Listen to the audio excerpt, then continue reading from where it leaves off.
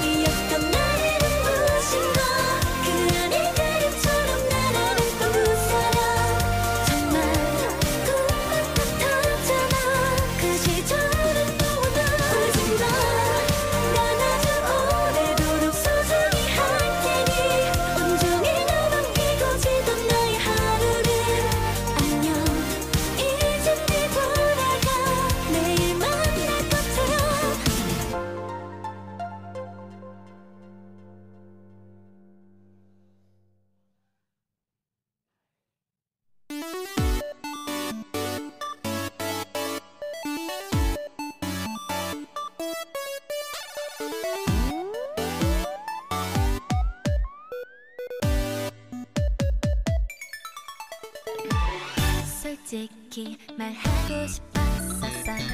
내가 먼저 그 애 좋아했다고. 단지 말할 수 없던 건